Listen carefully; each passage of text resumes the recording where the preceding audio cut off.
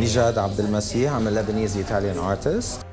Love Me, Love Me Not is an exhibition. It took three years. All my photography basically is based on natural light. What I do is I uh, mix a couple of layers together to create one unique artwork.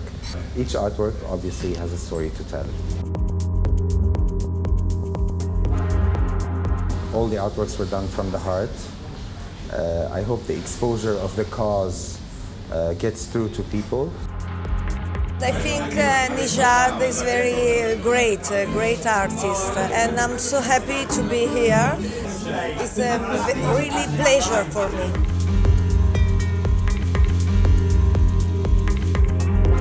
What I like most about Nijad's work is that he can really read women very well, and I think he knows how to bring out their true character or what, what's most beautiful about them.